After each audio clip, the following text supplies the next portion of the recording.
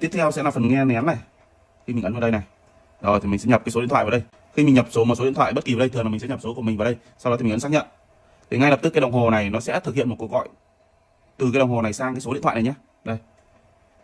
Các bạn đã chút này, thấy không? Từ số từ đồng hồ đang gọi đến điện thoại này. Và các bạn hoàn toàn có thể ấn nghe máy như này. Đó, và nghe được những cái âm thanh xung quanh cái đồng hồ này, đúng không? Kiểu như nó sẽ thực hiện một cái cuộc gọi ngầm từ bên đồng hồ về điện thoại, mà cái đồng hồ này không hề hiển thị một cái gì nhá nên các bạn có thể nghe được cái âm thanh của cái môi trường xung quanh đó rất là hay nhá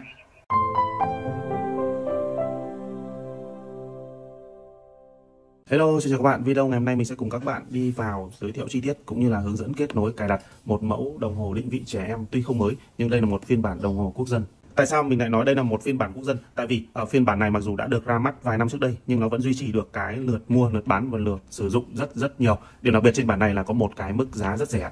Nhưng không vì giá rẻ mà chất lượng kém đi, ngược lại bản này còn rất đầy đủ tính năng và những gì nó đem lại rất xứng đáng với giá tiền. Rồi, bây giờ hãy cùng mình đi vào chi tiết chiếc đồng hồ này nhé. Đầu tiên về ngoại hình hộp chúng ta sẽ có một chiếc hộp form vuông như thế này. Bên trên thì sẽ có in những họa tiết khá là vui nhộn ở đây. Mà hộp ra bên trong chúng ta sẽ thấy được ở đây là một chiếc đồng hồ này. Đây, được để trong một cái túi ờ, ni lông nhá. Bên trong sẽ có một sạc và một chiếc tua vít ở đây. Tua vít này thì sẽ dùng để tháo lắp sim nhé. Bộ phụ kiện của chiếc đồng hồ này sẽ gồm sạc đồng hồ và chiếc tua vít để tháo lắp sim. Trên cái sạc này thì chúng ta sẽ có đầu vào, đó là đầu USB này, cắm vào củ sạc này. Đầu ra sẽ là đầu à, chân kim có hai chấu như thế này. Dạng hít nam châm nhé sẽ hít khớp với cái vị trí chân sạc mặt lưng đồng hồ. Đó, là chúng ta có thể sạc được. Thời gian sạc trung bình trên mẫu này sẽ khoảng tầm từ 1 đến 2 giờ. Rồi, hãy cùng đi qua một chút về ngoại hình của chiếc đồng hồ này. Đây, sẽ là form mặt hình vuông nhé kích thước mặt hình sẽ là 1.54 inch này. Bản này thì sẽ có hai màu. Màu à, tông xanh như thế này sẽ thích hợp với các à, bạn nam và màu tông hồng sẽ thích hợp với các bạn nữ. Cái độ tuổi phù hợp để đeo mẫu này sẽ là khoảng từ 6 đến 12 tuổi, trong khoảng từ lớp à, 1 đến lớp à, 5 lớp 6 gì đấy. Còn ở những độ tuổi cao hơn thì thường các bạn ấy sẽ thích đeo những kiểu dáng người lớn hơn rồi, không còn thích những kiểu dáng màu mè sặc sỡ như thế này nữa. Đồng hồ này thì sẽ có size rơi vào khoảng tầm 45 mm nhé và cái kích thước vòng dây khi thắt đến nấc cuối cùng thì nó rất là nhỏ. Hoàn toàn có thể đeo được cho các cái cổ tay của các cái bạn lớp một tay nhỏ nhé mặt trước của chiếc đồng hồ này sẽ được tích hợp một cái màn hình vuông 1.54 inch ở đây bên dưới sẽ có một nút điều khiển bên trên sẽ có một vị trí camera để có thể chụp ảnh được phần cạnh bên phải chúng ta sẽ có một giải loa một nút nguồn phần mặt lưng sẽ có vị trí chân sạc kèm với một dòng email của chiếc đồng hồ này. Phần cạnh bên trái chúng ta sẽ có một khay sim tháo lắp bằng à, tua vít như thế này. Vặn ốc ra nhé. Sau đó thì à, uh, cạy sim ra. Rồi, sau đó đưa sim vào và vặn ốc lại. Chiếc đồng hồ này thì cho khả năng chống nước IP68. Với cái khả năng chống nước như vậy thì bố mẹ hoàn toàn có thể cho con rửa tay đi mưa. Tuy nhiên thì lên hạn chế việc đi tắm đi bơi nhé. Vì dù gì nó cũng chỉ là một mẫu đồng hồ khá là rẻ thôi. Rồi, bây giờ hãy cùng mình đi vào lắp sim và cài đặt chi tiết. Để có thể cài đặt, kết nối và sử dụng đầy đủ tính năng trên chiếc đồng hồ này thì à, chúng ta hãy chuẩn bị một chiếc sim 4G. Trường hợp sim không có 4G thì các bạn chỉ việc nắp vào sử dụng thôi. Tuy nhiên thì nó sẽ chỉ nghe gọi đơn thuần và sử dụng được à, một số cái tính năng ờ, cơ bản ví dụ như giải trí hay xem giờ ở trên chiếc đồng hồ này thôi. Trường hợp không có sim nữa thì chúng ta cũng nắp vào và sử dụng được. Tuy nhiên thì nó cũng chỉ xem giờ được thôi. Rồi, cách lắp sim thì các bạn hãy chuẩn bị một cái sim ở nấc nano như thế này nhé đây nấc nano tức là cái nấc uh, à, thứ hai đấy. Nấc nhỏ nhất sẽ là nấc micro thì sẽ là màu trắng bên trong này. Còn nấc nano thì sẽ là nấc thứ hai ở trên cái thẻ sim của chúng ta nhé đó sau đó thì các bạn để ý ở trên cái thanh bịt sim này nó sẽ có một cái chiều đưa vào của sim. Đây mình sẽ dòng kỹ này. Các bạn thấy cái chiều mũi tên không? Cái góc khuất khuyết của nó sẽ là làm như thế này đúng không? Đây. Và cái khay sim này thì nó sẽ úp vào như thế này. Tương tự như vậy mình ướm vào đây mình sẽ nhìn được cái chiều vào của sim này. Các bạn phải lắp chuẩn sim nhé thì nó mới nhận nhé đây như vậy là mình sẽ lắp từ chiều này đúng không? Đó đưa chiều này vào này.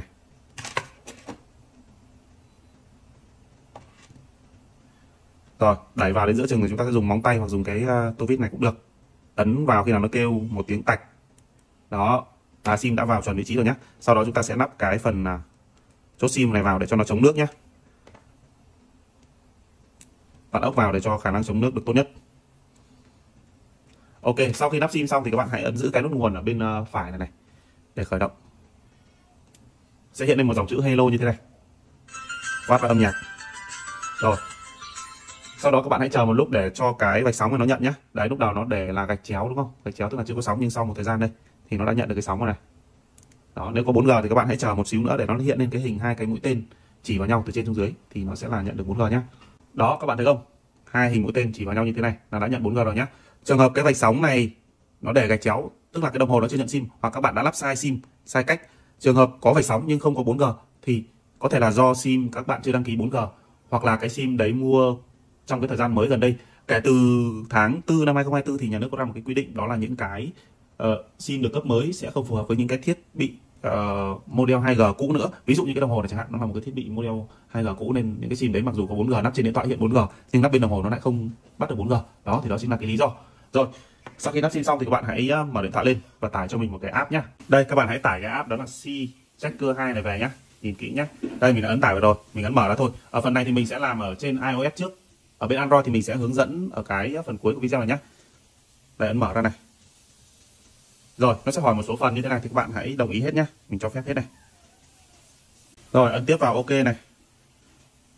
Cho phép sử dụng vị trí không này. Cho phép khi dùng ứng dụng này sau đó nó sẽ ra một cái giao diện đăng nhập như thế này. Thì các bạn hãy để ý bên dưới có một cái phần đó là ngôn ngữ này nên language là ngôn ngữ này. Các bạn chọn sang tiếng Việt đã nhé.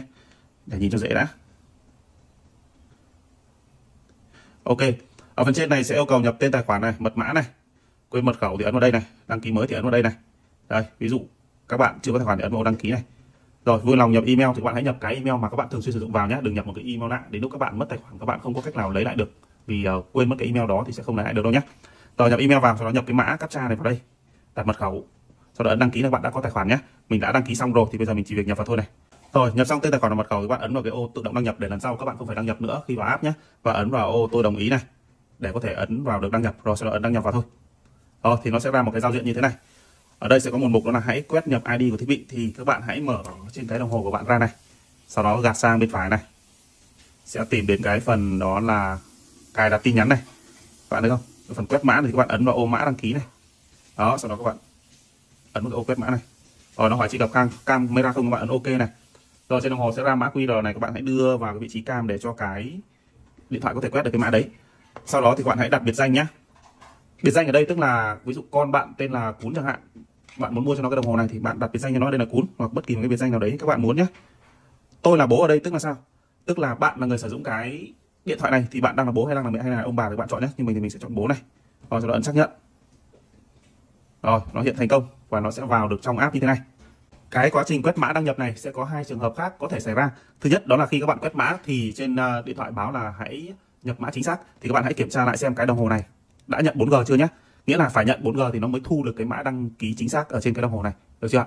cái trường hợp thứ hai, đó là khi các bạn quét cái mã này vào thì nó lại báo là hãy chờ xác nhận ở một thiết bị khác. Tức là cái đồng hồ này nó đã từng kết nối với một cái điện thoại trước đây thì phải có yêu cầu gỡ bỏ từ cái điện thoại cũ đó ra thì các bạn mới có thể kết nối nó mới, một cái điện thoại mới được nhé đó đó chính là những cái bảo mật rất hay trên chiếc đồng hồ này bây giờ hãy cùng mình đi vào các cái phần uh, hướng dẫn chi tiết ở trong cái app này nhé đầu tiên ở trên góc này sẽ có một cái biểu tượng uh, cún này cùng với hình cái đồng hồ này tức là đồng hồ tên là cún này.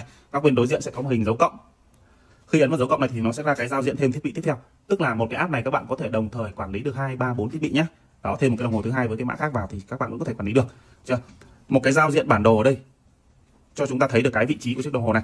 Đây như của mình đang ở An Khánh Hoài Đức đây chính xác luôn, mình đang ở An Khánh Hoài Đức. Thì cái vị trí này nó sẽ sai lệch đâu đó khoảng à, một một khoảng nhá, một khoảng chắc khoảng tầm dưới 100 mét. Đấy, nó sẽ chỉ định vị được khoảng tầm tầm đấy thôi, không thể chuẩn xác y hệt như trên cái điện thoại được. Đó. Bên dưới chúng ta sẽ có ba phần ở đây. Đầu tiên cái phần danh bạ này. Khi vào phần danh bạ này thì bạn có thể thêm danh bạ vào cho cái đồng hồ này nhé trên cái đồng hồ này sẽ không thể tự thêm danh bạ được, mà cần phải các bạn thêm từ bên cái điện thoại này. Nghĩa là các cháu không thể tự ý thêm danh bạ một số người lạ vào đây được, mà các bạn cho phép mới có thể thêm được. Ấn thêm vào này. Rồi các bạn nhập họ tên vào này abc này số điện thoại các bạn nhập vào thôi. Sau đó ấn xong, sau đó ấn lưu thì cái danh bạ nó sẽ lập tức lên ở bên trên đồng hồ. Đây, đợi nó gửi sang bên đồng hồ nhé thì chúng ta sẽ xem được cái danh bạ ở bên đồng hồ này. Đây, xong rồi, hãy kiểm tra bên đồng hồ này. Đây, vào danh bạ này các bạn thấy không? Số đã được thêm vào nhé đó đó là về phần danh bạ nhé các bạn có thể thêm được nhiều số vào đây. Rồi, tiếp theo là đến phần tin nhắn thoại, tức là chat qua lại giữa cái đồng hồ và cái điện thoại này. Thì các bạn vào đây này. Ấn vào trò chuyện gia đình này. Nó sẽ hỏi truy cập micro không này, các bạn ấn ok này giờ chúng ta có thể chat giữa đồng hồ và điện thoại này. Trên điện thoại chúng ta có thể dùng bàn phím được nhé. Hoặc giữ và nói được này. Alo alo con đang ở đâu đấy này? Thả ra nào gửi này. Đó các bạn thấy cái tin nhắn đầu tiên nó đã sang này. Tiếp theo là đến một cái tin nhắn thoại này. Các bạn hãy vào cái mục tin nhắn trên đồng hồ để kiểm tra nhé. Đấy, cái tin nhắn nội dung mình nhắn sang thì nó sẽ hiển thị là tin nhắn thôi nhưng các bạn ấn vào thì nó sẽ ra nội dung nhé. Vì màn hình nó nhỏ nó không hiển thị hết được. Được chưa? tin nhắn thoại thì ở bên dưới rồi. Ở bên cái đồng hồ ngược lại chúng ta vẫn có thể giao tiếp với cái điện thoại, nhưng sẽ không dùng bàn phím nhé các bạn chỉ có thể ấn giữ và nói này. Alo, con đang ở trường đây ạ. Rồi sau đó thả tay ra, nó sẽ gửi tin nhắn này. Nhưng mà đang báo là gửi tin nhắn thất bại. Mình đang không biết vì lý do gì. Mình thử lại nhá. Alo, con đang ở trường nhá. Đấy, đã gửi rồi đấy. Các bạn sẽ rút bên à, điện thoại nó sẽ báo nhận được tin nhắn này. Ấn vào cái nút gọi này, chúng ta sẽ là trở ra ngoài nhé đó. Rồi, xem bên điện thoại nhận được tin nhắn chưa. Đó, các bạn thấy tin nhắn thoại đến không? Đây này, mình sẽ mở lên nhé đấy các bạn nghe thấy không? Alo con đang ở trường đấy mình bật lại này. Mình thử lại nhé alo con đang ở trường. Đó rất là hay đúng không? Có thể giao tiếp tin nhắn qua lại giữa nhau.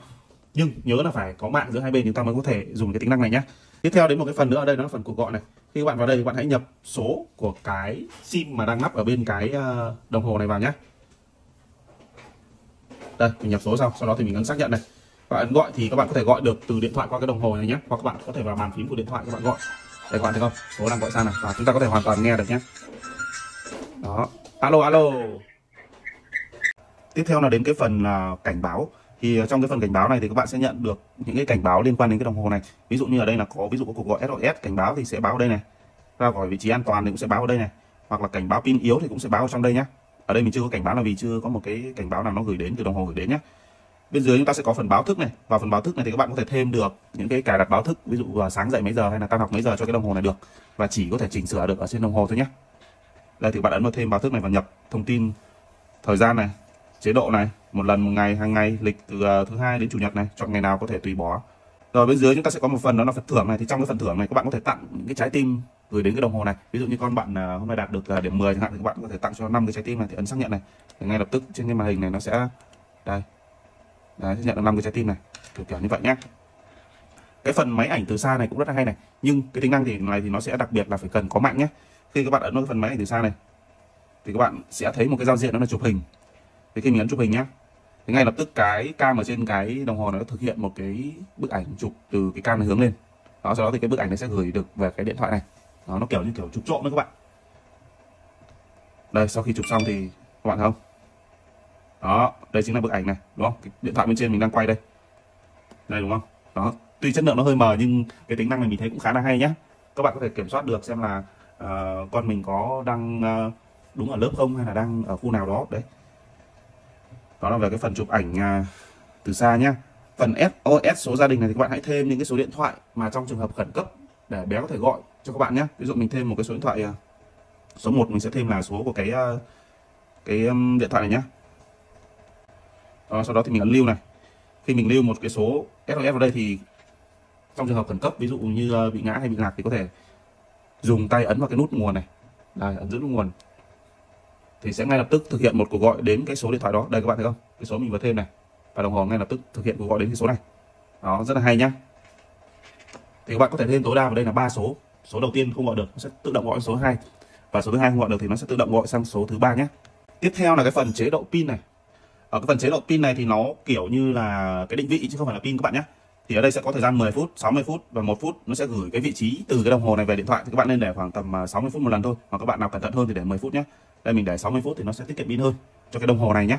Để 10 phút thì nó gửi thường xuyên hơn thì đương nhiên rồi pin nó sẽ hao nhanh hơn. Tiếp theo sẽ là phần nghe nén này. Khi mình ấn vào đây này. Rồi thì mình sẽ nhập cái số điện thoại vào đây. Nhập uh, số đó là mình nhập số của mình nhé khi mình nhập số, một số điện thoại bất kỳ vào đây, thường là mình sẽ nhập số của mình vào đây. Sau đó thì mình ấn xác nhận. Thì ngay lập tức cái đồng hồ này nó sẽ thực hiện một cuộc gọi từ cái đồng hồ này sang cái số điện thoại này nhé. Đây. Các bạn đã chút này, thấy không? Từ số từ đồng hồ đang gọi đến điện thoại này. Và các bạn hoàn toàn có thể ấn nghe máy như này. Đó, và nghe được những cái âm thanh xung quanh cái đồng hồ này, đúng không? Kiểu như nó sẽ thực hiện một cái cuộc gọi ngầm từ bên đồng hồ về điện thoại, mà cái đồng hồ này không hề hiển thị một cái gì nhá. Nên các bạn có thể nghe được cái âm thanh của cái môi trường xung quanh. Đó, rất là hay nhá. Tiếp theo là đến cái phần thành viên gia đình thì vào trong đây nó chỉ hiện thông tin của những cái thiết bị mà đang được kết nối so với cái app này. Ví dụ như ở đây đang có một cái đồng hồ này. Đấy thì nó sẽ hiển thị một ừ, cái tài khoản này ở đây. Các bạn thêm những cái tài khoản mới thì nó sẽ có ở đây nhé chế độ lớp học. Cái chế độ lớp học này cũng rất là hay này. Các bạn lên cài cái chế độ này. Khi vào trong đây thì nó sẽ có bốn cái khoảng thời gian này. Các bạn hãy ấn vào thêm khoảng thời gian. Đây mình lấy ví dụ nhá. Ờ, trong các ngày từ ờ, thứ hai đến thứ sáu cháu đi học uh, từ ờ, 8 giờ đến ờ, 11 giờ đi thì mình sẽ để cái khoảng thời gian đây thời gian bắt đầu là 8 giờ đúng không? Đây và thời gian kết thúc là 11 giờ này. Mình lấy ví dụ thế nhé lặp lại từ thứ hai này. Cái thứ này thì thứ một này chính là thứ hai nhé nó dịch sai các bạn nhé. Hai, ba, bốn này, năm này, sáu này. Đây, còn đây là thứ bảy, chủ nhật này. Rồi, sau đó các bạn ấn lưu lại. Thì nghĩa là trong cái khoảng thời gian từ 8 đến 11 giờ của từ thứ hai đến thứ sáu này, cái đồng hồ này nó sẽ không nhận bất kỳ cuộc gọi hoặc là thông báo nào đến tránh làm phiền trong cái giờ học. Đó, kiểu kiểu như vậy nhé tương tự như vậy, các bạn có thể thêm tối đa đây là bốn khung giờ. Đấy, các bạn nên để từ à, buổi sáng một khung giờ này, buổi chiều một khung giờ này. Nếu tối cháu có đi học thì cũng có thể để một khung giờ. Rất là hay nhá rồi, trong cái phần cảnh báo SMS này thì nó sẽ cảnh báo là pin yếu và thông báo SMS này. Các bạn muốn nhận thông báo nào thì các bạn bật lên này.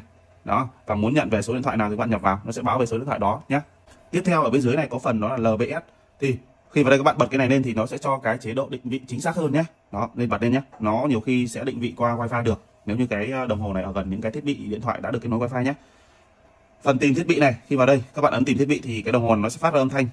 Đây đó đồng hồ đang kêu đây. Sư phụ tôi đang ở đây này các bạn được không? Cái này giúp ích trong rất nhiều trường hợp. Ví dụ như ở nhà cháu vứt à, đồng hồ đâu không tìm thấy thì các bạn có thể ấn vào cái này. Đồng hồ nó phát âm thanh các bạn có thể tìm được nhá. Nhưng với điều kiện là đồng hồ còn pin nhé còn hết pin thì chịu. Cái phần danh bạn này thì vừa mình cũng đã giới thiệu lúc đầu rồi mình sẽ không vào nữa này. Phần chuyển cài đặt này. Thì ở đây trong cái phần chuyển cài đặt này nó sẽ có một cái công tắc quay số này. Ban đầu nếu bật cái này lên thì các bạn có thể thực hiện cuộc gọi trên đồng hồ được nhá.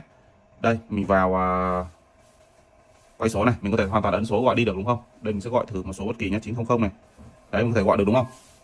Nhưng, sau khi các bạn đã tắt cái chế độ ở trên điện thoại này đi nhá, chức năng quay số này mình tắt đi này, thì trên đồng hồ nó sẽ không thể thực hiện cuộc gọi đến bất kỳ một số nào nữa. Đấy, kiểu như khóa cuộc gọi ở trên cái đồng hồ này nhá. Đây sau khi mình tắt đi rồi thì đợi một tí này, nó sẽ cập nhật lên này. Đây, các bạn thấy không? Mình, khi mình vào phần quay số thì nó sẽ báo như này. Nó sẽ báo là không thể vào được này. Vui lòng cài đặt chuyển đổi trong app này. Đó, khóa quay số nhé không cho cháu thực hiện những cuộc gọi đến những cái số không an toàn nhé tiếp theo bên dưới sẽ có một phần đó là ngôn ngữ này thì ngôn ngữ này các bạn sẽ cài cho ngôn ngữ của cái đồng hồ này. Đây, sẽ chọn xuống Việt Nam và cài thôi xác nhận là được. Nó sẽ chuyển sang đồng hồ nhé thì đây, các bạn đã có ngôn ngữ của đồng hồ rồi. Mặc định nó đã là tiếng Việt rồi. Phần múi giờ thì các bạn nên cài để cho chính xác cái vị trí nhé cũng như là giờ này, thì các bạn sẽ chọn là gm cộng 7 nhé đây này, là chuẩn khung múi giờ của Việt Nam nhé chúng ta sẽ không thể cài đặt được thời gian ở trên cái đồng hồ này, mà chỉ có cách là cài từ app này qua thôi nhé tiếp theo là đến cái phần từ chối cuộc gọi lạ thì vừa rồi là cái phần ờ, không cho gọi đi, bây giờ là phần từ chối cuộc gọi lạ hai cái này đối đối lập nhau này, rất là hay. Khi vào đây các bạn ấn bật từ chối cuộc gọi lạ này lên thì đồng nghĩa với việc là bất kỳ một cái số nào mà không lưu trong cái danh bạ của cái đồng hồ này nhé gọi đến thì nó sẽ không báo ở bên đồng hồ. Đấy, nghĩa là nó từ chối cuộc gọi mà không có trong danh bạ luôn. Tránh trường hợp những cái số lạ muốn tiếp cận hay là muốn làm phiền có thể gọi được thì bạn nên bật cái này lên nhé cũng rất là hay. Tắt thiết bị từ xa này. Một khi cái đồng hồ này đã lắp sim vào rồi thì chúng ta sẽ không thể tắt đi được, mà chúng ta chỉ có thể là tắt nó từ xa được thôi rất là hay nhé tránh trường hợp mà mà kiểu ờ, bị ờ, lấy trộm cái đồng hồ này hoặc là ví dụ như là bắt cóc chẳng hạn đi, thì người ta cũng không thể tắt được cái đồng hồ này đi, để các bạn vẫn có thể định vị được đồng hồ. Đó, thì các bạn có thể, nếu muốn tắt thì các bạn có thể tắt từ xa bằng cái điện thoại này được thôi chưa? Còn trường hợp nếu tháo sim ra thì chúng ta mới có thể là tắt nguồn được bằng cái đồng hồ nhé khởi động lại thiết bị từ xa thì ờ, cũng là tương tự cái tắt nguồn kia, nếu muốn khởi động lại trong trường hợp cái đồng hồ nó bị đơ hay nó bị sao thì bạn có thể vào đây khởi động lại thì đó là các cái phần cài đặt quan trọng liên quan đến cái đồng hồ này. Ở bên dưới sẽ có một phần đó là xóa sẽ dùng trong trường hợp nếu các bạn muốn cho cái đồng hồ này cho người khác dùng nhé không muốn cho con dùng mình dùng nữa hoặc nó có hai cái rồi. Thì các bạn phải ấn vào đây để xóa cái đồng hồ này khỏi cái app này đi nhá. Nếu các bạn không xóa đi người khác sẽ không thể dùng cái đồng hồ này để kết nối với một cái app khác bằng tài khoản khác được. Đó. Và trong cái phần uh, mi này tức là phần tôi này thì sẽ có những cái cài đặt liên quan đến cái tài khoản này. Thì bạn vào đây sẽ có phần dữ liệu cá nhân này rồi mật khẩu này danh sách thiết bị này. Thì những cái này các bạn tự mầm mò nhá. Nó rất là đơn giản thôi. Ở phần sau này thì mình sẽ hướng dẫn các bạn cách kết nối ở bên Android nhá nó cũng sẽ khá là giống bên iOS thôi, nên mình sẽ đi sơ qua và đi nhanh nhanh một chút. Thì, đầu tiên cái phần lắp sim nó vẫn là như thế, các bạn lắp vào và chờ nhận mạng nhận sóng lên như này nhé, là sẽ có thể chờ cài đặt được này. Điện thoại Android của mình đây là một con Samsung này, tải app thì vẫn sẽ là app C Checker 2 này. Tải app này xong này, mình mở ra này. Rồi, sau đó thì nó sẽ ra cái giao diện đăng nhập, vẫn là như vậy. Các bạn sẽ chọn sang ngôn ngữ Việt Nam này nhé. Đây này. Ban đầu nó sẽ mặc định là ngôn ngữ tiếng Anh, thì các bạn sẽ chọn sang Việt Nam để nhìn cho nó dễ này. Tên tài khoản các bạn nhập vào đây này, mật khẩu nhập vào đây này. Nếu chưa có tài khoản hoặc mật khẩu thì các bạn ấn vào cái ô đăng ký này rồi sau đó nhập cái email của bạn vào đây này nhập cái mã xác minh này vào nhé sau đó thì nhập mật khẩu vào nó sẽ gửi một cái mã về email để các bạn xác minh cái tài khoản sau đó đặt mật khẩu là được ấn xác nhận. Như vậy là các bạn đã có tài khoản mật khẩu các bạn ấn vào ô đăng nhập này và nhập vào thôi. Sau đó ấn vào cái tự động nhập này để mỗi lần đăng nhập các bạn không cần phải nhập mật khẩu nữa. Ấn vào ô xác nhận này thì mới có thể đăng nhập được nhé đây mình đã nhập xong rồi mình sẽ ấn đăng nhập này. Rồi nó báo là tài khoản chưa ràng buộc với một thiết bị nào đó thì uh, nghĩa là đây tài khoản một tài khoản mới ràng buộc với một thiết bị mới các bạn ấn chắc này. Rồi thì nó sẽ ra cái giao diện như thế này vẫn giống ở bên iOS này. Thì ở đây nó sẽ có một cái mục đó nằm nhập mã quét này. Các bạn ấn vào cái hình mã QR này. Đấy. Sau đó bên à, đồng hồ bạn mở cái phần à, đó là tin nhắn này ra cho mình này. Đây, cài đặt tin nhắn này và ấn vào cái mã đăng ký này. Sẽ có một cái mã QR để chúng ta quét như này, đúng không? Đó. Rồi, quét xong rồi thì các bạn nhập biệt danh của cái đồng hồ này. Thì à, ví dụ ở đây mình sẽ vẫn nhập là cún nhá. Rồi, tôi là gì của anh ấy này thì tôi là bố này. Nghĩa là cái điện thoại này là gì của cái đồng hồ? Là mình mình là bố của cái cún này. Đó được chưa? Các bạn hãy nhớ là phải lắp sim có mạng, vào thì bạn mới thu được cái mã đăng ký kia chuẩn nhá. Còn trường hợp sim mà không hiển thị cái vạch mạng này thì nó sẽ không thu được cái mã chuẩn đâu. Và các bạn chỉ cần kết nối một lần đầu này thôi nhá, lần sau các bạn vào thẳng được trong app luôn. Rồi, sau khi nhập xong là mình ấn ok này. Rồi, nó hiện ra giao diện đăng nhập này, mình ấn đăng nhập lại này. Đó, thế là vào được. Và ở trong app thì nó sẽ ra cái giao diện như thế này. Nó khá là giống ở bên iOS thôi, mình sẽ hướng dẫn lại từ đầu nhé đầu tiên ở phần trên này nó sẽ có một phần tên nó là cún, thì chính là tên của cái đồng hồ này. Các bạn có thể thay đổi tên của nó được đối diện sẽ là một cái hình dấu cộng. Khi ấn vào đây thì bạn có thể quét được thêm những cái mã đăng ký khác của những cái đồng hồ khác. Nghĩa là các bạn có thể thêm đồng thời nhiều thiết bị vào để các bạn quản lý. Ví dụ có hai, ba đứa, các bạn muốn mua ba cái đồng hồ chúng nó các bạn vẫn có thể quản lý bằng một cái tài khoản này được. Đó. Phần bản đồ ở đây thì nó sẽ hiển thị cái vị trí của cái đồng hồ này nhé đây, khi ờ, mình ấn chạm vào đây này. Rồi, thì nó sẽ định vị cái vị trí của cái đồng hồ này nhé vị trí thì nó sẽ tương đối thôi, nó sẽ gần chính xác chứ không thể chính xác tuyệt đối được vì dù gì nó cũng chỉ là một cái đồng hồ giá rẻ thôi nhé đây, báo ở biên giang này, biên giang, hà đông này. Mình ấn lại cái này để cho nó định vị lại này. Đây, cún đây. Ok chưa? Khá chuẩn đấy. Cách một chút thôi. Rồi, đấy là về cái vị trí. Tiếp theo bên dưới chúng ta sẽ có ba cái phần chính mà dùng thường xuyên đây. Nó là phần danh bạ này, trò chuyện và phần gọi. Thì vào phần danh bạ, các bạn có thể thêm được danh bạ cho cái đồng hồ này nhé ấn vào thêm số này. Rồi, sau đó nhập mối quan hệ với cún. Ví dụ mình à, muốn nhập là mẹ sang mẹ của cún chẳng hạn. Rồi, sau đó mình nhập số vào đây. Nhập đại số nhé sau đó mình ấn hoàn tất này ấn lưu này và gửi này. Thì ngay lập tức bên đồng hồ này sau khi gửi xong này sẽ hiện được cái danh bạ và cái số của mình đã lưu vào đây. Nghĩa là chỉ có bạn mới có thể thêm được danh bạ cho cái đồng hồ này. Cái đồng hồ này không thể tự thêm danh bạ được. Và phần danh bạ này. Đó đây là cái số mà mình vừa cập nhật vào đúng không? Tiếp theo đến phần trò chuyện này. Thì trong cái phần trò chuyện này các bạn có thể chat qua lại giữa cái đồng hồ và cái điện thoại nhé. Bằng uh, văn bản hoặc là bằng uh, ghi âm. Đây mình có thể ấn giữ ghi âm này. Alo con đang ở đâu đấy này? Thả tay ra là gửi này, hoặc có thể là ấn bàn phím này. Rồi nó sẽ lập tức gửi đến đồng hồ trong một khoảng thời gian nhé. Tin nhắn thì nó báo là không được quá 15 ký tự này, hoặc không được quá 30 chữ cái. Đấy, vì cái đồng hồ này nó chỉ hiển thị được tầm như vậy thôi, nên các bạn hãy chú ý phần đó nhé. Đây, cái tin nhắn nó đã đến nó đây, và cái phần âm thanh thì nó đây. Ấn vào, các bạn có thể nghe được nhé. Đó, ấn vào tin nhắn thì nó sẽ hiển thị ra tin nhắn này. Đó, còn bên đồng hồ chúng ta cũng có thể trả lời ngược lại, nhưng chúng ta sẽ không dùng bàn phím được, mà chỉ dùng được cái phần ghi âm thôi nhé. Đây này. Alo alo, con đang ở trường đây, thả tay ra là gửi này. Bên đồng hồ thì à bên điện thoại thì nó sẽ mất một lúc để nó cập nhật cái tin nhắn đấy gửi đi nhé đây, mình sẽ trở ra ngoài và lát nó sẽ báo. Đây, có rồi này đây, các bạn nghe nhá. Đấy, nó hơi nhỏ một chút. Alo con đang ở trường, tại vì vừa mình không dí sát cái mic vào. Tiếp đến sẽ có một phần, đó là phần gọi này. Thì trong cái phần gọi là các bạn nhập cái số của cái đồng hồ này vào. Số sim đã lắp bên đồng hồ thì các bạn có thể ấn chắc này và thực hiện được cuộc gọi đến đồng hồ nhé cái này khá là thừa. Các bạn có thể vào trực tiếp bàn phím và ấn gọi được hoặc danh bạ được, đúng không? Không cần đến cái này nhé rồi, bên dưới thì chúng ta sẽ có các cái phần như sau này. Mình sẽ đi sơ qua nhanh nhanh nhá. Đầu tiên phần family member này. Thì vào đây sẽ là thông tin về cái tài khoản này. Các bạn có thể thêm được cái tài khoản của người thứ hai, người con thứ hai vào nhé phần cảnh báo này thì sẽ có thông báo của tin nhắn này, cuộc gọi này. Rồi thì khi ra khỏi vùng an toàn hoặc pin yếu thì nó sẽ thông báo về cái điện thoại này. Phần chế độ pin này thì nó sẽ chính là cái phần định vị đấy. Trong đây nó sẽ có là 10 phút 60 phút và 1 phút nghĩa là trong cái khoảng thời gian đấy cứ mỗi 10 hoặc 60 hoặc một phút nó sẽ gửi cái vị trí về cái điện thoại này. Thì các bạn nên để khoảng tầm 60 phút để cho nó tiết kiệm pin hơn nhé. Và các bạn nào à, quan tâm con nhiều hơn thì có thể ấn một phút hoặc là 10 phút. Đấy, thì tùy các bạn. Sau đó thì ấn lưu lại. Phần số gia đình SOS này thì các bạn có thể thêm vào đây tối đa được ba cái số SOS đây, ví dụ mình thêm một cái số này vào đây rồi. Mình ấn lưu vào. Thì nó sẽ chuyển sang cái đồng hồ này. Thì khi trường hợp mà có con cần cuộc thực hiện cuộc gọi khẩn cấp thì chỉ việc ấn giữ cái nút nguồn này nó sẽ thực hiện cuộc gọi đến cái số là lưu ở đây nhá. Số đầu tiên không được thì sẽ đến số thứ hai và số thứ ba đây nó sẽ gửi sang và mình sẽ ấn thử này. Xem có chưa nhé đấy các bạn thấy không? Khi mình ấn này đó, thực hiện cuộc gọi đến ngược lại đến cái số này luôn này. Đó. Tắt đi nhá. Đấy là phần cuộc gọi khẩn cấp. Cái phần phần thưởng này thì các bạn sẽ tặng được cái tim này cho sang cho cái đồng hồ này. Ví dụ như ở đây đang có là 5 tim này các bạn có thể tặng thêm 5 6 hoặc 7 tim ở đây. Mỗi lần nó được điểm cao hoặc là hoàn thành một công việc gì đấy chẳng hạn. Phần vô hiệu hóa trong lớp này chính là cái phần khóa thời gian trong lớp thì khi vào đây nó sẽ có bốn khung giờ nhé mình lấy ví dụ một khung giờ đầu tiên này mình ấn thêm thời gian này. Ví dụ trong các ngày từ thứ hai đến thứ sáu hàng tuần từ 8 giờ đi. Đây từ à, 8 giờ đến à, 11 giờ này. Đây là thời gian đầu này đây là thời gian cuối này. Đến à, 11 giờ. Các ngày từ thứ hai ba tư năm sáu này. Cháu đi học trong khoảng thời gian đấy thì các bạn. Chọn như thế này sau đó ấn lưu vào. Thì cứ trong cái khoảng thời gian đấy là cái đồng hồ này nó sẽ không nhận bất kỳ một tin nhắn hoặc cuộc gọi nào. Nghĩa là nó không làm phiền trong cái giờ học đấy. Đó đại loại như vậy nhé và các bạn có thể thêm tối đa là bốn khung giờ vào đây. Sáng này uh, chiều này hoặc tối hoặc là thời gian nào đó tùy các bạn nhé tiếp theo là phần thiết bị báo thức. Thì vào đây các bạn có thể cài được báo thức cho cái đồng hồ này thôi. Đây bật lên và cài thôi. Cũng tương tự như vậy chọn uh, thời gian này chọn số lần này chọn uh, ngày hàng ngày này hoặc là tùy chỉnh thêm cái hàng tuần nữa này. Đó thì tùy các bạn chọn nhé thứ một thì nó chính là thứ hai nhé nó sẽ dịch sai một chút như vậy đấy. Sẽ thêm tối đa được đâu đó là ba ba lần báo thức này. Thì khi mỗi khi báo thức thì đồng hồ nó sẽ rung hoặc phát ra âm thanh. Tiếp theo là đến phần tìm thiết bị.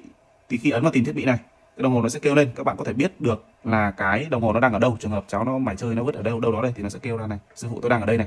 Đấy. Thì vừa nghe âm thanh vừa phát ra rung thì chúng ta sẽ biết được nó vứt ở góc tủ nào chẳng hạn.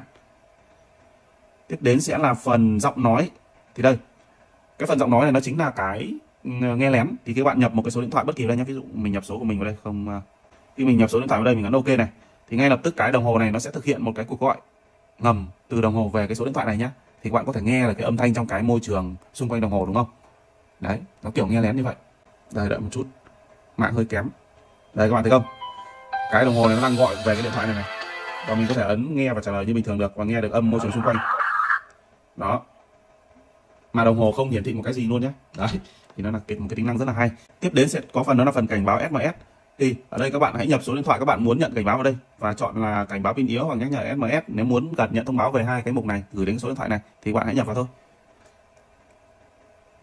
Phần chuyển cài đặt này thì vào đây. Các bạn có thể khóa được cái tính năng quay số trên cái đồng hồ này lại nhé ví dụ ban đầu vào này thì à, uh, đâu ban đầu mình vào cái à, phần quay số nhá. Đây thì chúng ta vẫn có thể vào đây và ấn gọi được đúng không? Ấn số và gọi này 900 chẳng hạn này. Đó gọi được đúng không? Nhưng khi mình đã bật tắt cái chức năng quay số này đi tức là mình khóa không cho cái đồng hồ này có thể gọi đi bất kỳ một cái số nào thì mình ấn lưu vào đây là được. Cho nó gửi sang nhé nghĩa là các bạn không muốn con mình có thể gọi linh tinh cho bất kỳ một người nào khác ngoài những cái số các bạn lưu ở trong danh bạ kia thì các bạn bật cái này lên. Hoặc không thì các bạn tắt đi nhé đây khi mình tắt đi rồi thì mình vào lại phần của gọi này. Các bạn thấy không? Nó báo là vui lòng cài đặt trên app này. Đó không thể gọi đi cho người khác được nhé đấy rất hay. Tiếp theo sẽ có một phần nữa. Đó là phần uh, máy ảnh từ xa. Thì khi mình vào phần máy ảnh từ xa này mình ấn chụp hình này thì ngay lập tức cái cam ở trên cái đồng hồ này nó sẽ chụp một bức ảnh mà không phát ra bất kỳ một âm thanh nào nhé sau đó sẽ gửi cái bức ảnh đấy về cái điện thoại này. Nghĩa là các bạn muốn chắc chắn rằng con đang ở chỗ nào đấy thì bạn có thể ấn vào chụp ảnh này và nó sẽ gửi ảnh về. Một cái tính năng kiểu như là chụp trộm ấy đợi đợi một chút thì ảnh nó sẽ gửi về nhé nhưng với điều kiện là trên đồng hồ nó phải nó phải là có ấy nhé nó phải là có mạng các bạn nhé đây, mình trả ra vào lại này. Đây, chính là cái bức ảnh đây. Đó, nó hơi mờ một chút các bạn nhé chính là cái cam mình vừa chụp bên trên này. Đây, cái cam nó hướng lên trên này. Cái máy ảnh mình đang quay, đúng không? Tiếp đến bên dưới nó sẽ có phần từ chối cuộc gọi lạ. Cái phần này nó sẽ ngược với cái phần là khóa bàn phím nhé thì khi vào đây các bạn ấn bật từ chối cuộc gọi lạ lên thì cái đồng hồ này nó sẽ không nhận được bất kỳ một số điện thoại nào gọi đến ngoài những cái số mà đã lưu ở trong danh bạ nhé đó cũng rất là hay để tránh bé bị làm phiền hay là bị um, những người khác không tốt tiếp cận chẳng hạn. Thì các bạn có thể bật lên.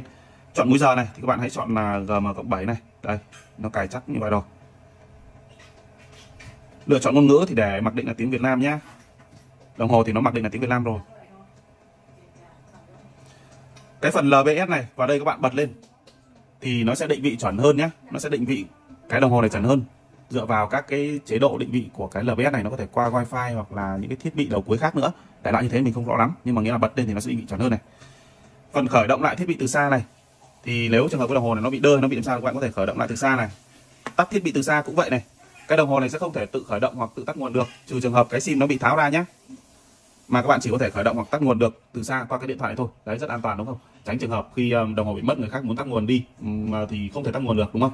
Rồi như vậy là đã hết các cái phần trong cái phần cài đặt này rồi. Thì ở bên dưới sẽ có một cái phần đó là unbundling này. Nghĩa là xóa cái cún này khỏi cái tài khoản này. Trong trường hợp các bạn muốn cho cái đồng hồ này cho người khác các bạn phải xóa cái này đi nhá thì người ta mới có thể sử dụng được. Còn các bạn không xóa đi thì không ai có thể sử dụng được vì uh, tài khoản đấy chỉ mình bạn mới biết được thôi. Rồi trong cái mục của tôi này sẽ có những cái cài đặt liên quan đến cái tài khoản này dữ liệu cá nhân này độ mật khẩu này danh sách thiết bị mã đăng ký thì bạn hãy vào đây và ngâm cứu thêm nhé liên quan đến cái tài khoản đăng nhập này thôi. Còn đồng hồ thì các cái phần cài đặt nó sẽ ở một trang chủ này hết rồi rồi như vậy là mình đã cùng các bạn đi qua tất cả các phần cài đặt ở bên iOS và Android của chiếc đồng hồ định vị trẻ em rất là rẻ này rồi. Thì các bạn dùng điện thoại nào hãy xem phần đó nhé. Tổng quan về chiếc đồng hồ này thì chúng ta sẽ có một cái kiểu dáng rất là bắt mắt với hai màu xanh và hồng khác nhau. Thời lượng pin trên bản này thì sẽ dùng đâu đó được khoảng tầm à, một ngày này. Ờ, sẽ phù hợp với cái độ tuổi mình sẽ nhắc lại nhé từ à, tầm 1, 6 tuổi đến 12 tuổi. Các cái tính năng thì à, khá là đầy đủ có nghe gọi nhắn tin rồi định vị đầy đủ cho những cái trường hợp dùng trẻ em. Ờ, các cái phần cài đặt trên đồng hồ này, thì khi ấn nút nguồn, các bạn có thể bật tắt được màn hình này. Ấn nút gọi này thì các bạn có thể vào được màn hình chính này, kiểm tra được giờ là lượng pin này, vạch sóng này, rồi thì vạch mạng này. Cả sang thì các bạn có thể vào được các cái phần quan trọng ở trong đồng hồ. Ở đây ví dụ như là, đầu tiên chúng ta sẽ có phần quay số này. Đấy, vượt mình tắt bên áp rồi đúng không? Phần danh bạ này, phần máy ảnh này. Đồng hồ có thể tự động chụp ảnh được nhé. Chụp ảnh bằng trên đồng hồ được, nhưng mà chất lượng ảnh thì nó sẽ hơi kém. Phần ảnh để xem lại những cái ảnh vừa chụp này. Phần tốc độ học này thì nó sẽ là một cái trò chơi đơn giản đây mình ấn bắt đầu này một cộng một bằng hai có đúng không này? Hai bằng năm này. Đấy nó trò chơi kiểu như vậy. Phần nhóm chat này thì chính là cái phần chat giữa đồng hồ và điện thoại nhé ấn nút nguồn một cái chúng ta có thể trở ra ngoài được này. Phần cài đặt tin nhắn này thì liên quan đến các phần kết nối. Đây trong đây chúng ta có thể cài được ngôn ngữ này. Thì đó là tất cả những cái phần giới thiệu cũng như là hướng dẫn cài đặt à, của mình. À, link mua sản phẩm hoặc số điện thoại thì mình có thể truy cập vào ở trên các màn hình này hoặc đường link ở dưới mô tả video à, mình sẽ tư vấn cho các bạn. Cũng có rất nhiều những cái loại khác nó tốt hơn nhưng giá nó sẽ cao hơn khác nữa. À, video thì ờ, cũng rất là dài rồi. Mình sẽ xin kết thúc ở đây. Rồi các bạn thấy hay thì đừng quên cho mình một à, đăng ký kênh và một à, nút like hoặc là comment câu hỏi xuống phía dưới phần bình luận nhé. Rồi xin chào và hẹn gặp lại các bạn trong những video tiếp theo.